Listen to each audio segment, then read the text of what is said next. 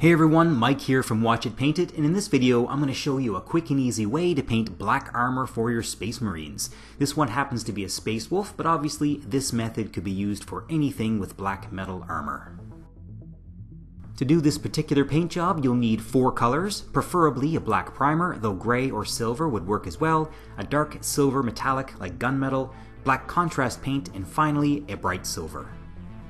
You'll also want one or two dry brushes. I have a big one from Army Painter for most of the work, and then I have a small makeup brush for getting into the harder to reach areas. As long as the brush has soft fluffy bristles, you're good to go. So at this point I've primed the miniature completely in black. Next I'm going to do a heavy dry brush over the entire miniature. So normally with a dry brush you'd get off most of the paint from your brush before starting. I'm just getting off about half of it and making sure there's no big gobs of paint in the bristles. Then as you can see, I'm lightly running my gunmetal dry brush over the entire body of the model. There's lots of little gaps between the panels on the armor and I'm trying not to get the paint in there. I'm leaving that black to make the details stand out, but if I do get paint in there, I'm not too worried. The black contrast paint will fill in those gaps with black later. With the dry brush finished, you can see that it's done a good job of covering the model while still leaving the details clearly visible. At this point, you could do any number of washes over the metal to tint it, but for this video, I'll be using black contrast paint. I don't want the contrast paint straight out of the pot, it's a bit too heavy, so I'll be mixing it roughly 2 parts contrast paint to 1 part contrast medium.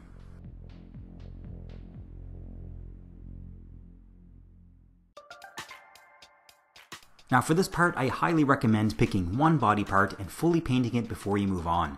Start at the top and work your way down, completely covering the body part with paint.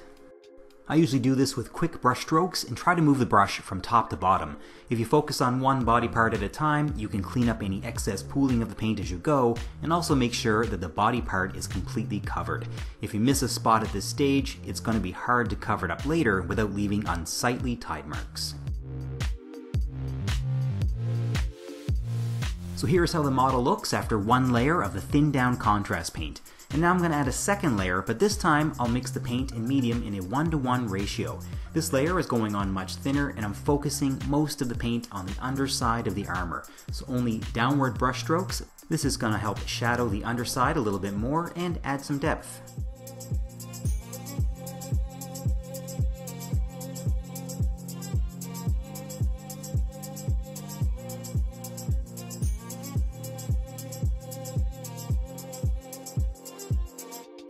Okay, now I'm switching to my small dry brush and I'm using the Shining Silver. This time I'm doing a proper dry brush and getting most of the paint off of the brush. I only want to have the bare minimum of paint going on this time. I'm very lightly running the brush across the edges of the armor, trying to brighten those up with an easy edge highlight. As long as you only have a tiny bit of paint on the brush, it won't smear and make a mess on the black armor. So at this point, the black armor is pretty much done, except for some weathering, which I will show in a moment. I didn't want to leave everything a shiny black metal, the armor looks much better if you have a few accent colors on there. So obviously I'll paint the leather straps a different color, and then I'm adding a faded gold to the jetpack and parts of the gun.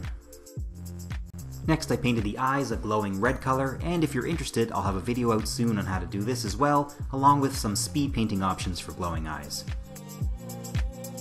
And the last touch I added to the armor before doing the weathering was to add some yellow stripe patterns and a water transfer to one shoulder. There's a link at the end of this video if you're curious about how Ben and I apply our water transfers. Okay, now that this guy is done, I want to add some scuff marks to the areas that were just painted with the stripes. I can't use the contrast paint again, so instead what I'll do is mix roughly 2 parts gunmetal to 1 part black and apply it with a sponge. The sponge is just from a sponge paintbrush that I've been slowly ripping apart. So first I'm going to tear off a small piece of this sponge, getting some good rough edges. To hold it, I'll be using a normal pair of tweezers.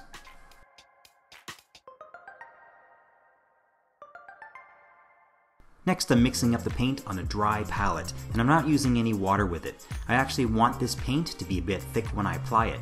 I'm first dabbing the sponge into the paint and then dabbing off most of the excess until I'm just getting little metal specks on the paper towel. Now it's just a matter of dabbing the sponge onto the areas that you want to look chipped. I'm taking my time, I don't want to squish the sponge too hard and get a paint smear, but over time it is going to create some cool looking chip marks in the yellow paint.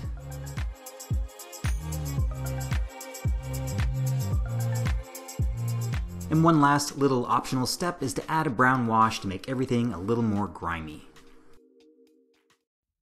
And here is the finished model. The black armor was the main focus of this video, but if there are aspects you'd like to see in more detail, like eyes, lenses, or anything else, let me know. I hope you guys like this video, go give this a try, and thanks for watching.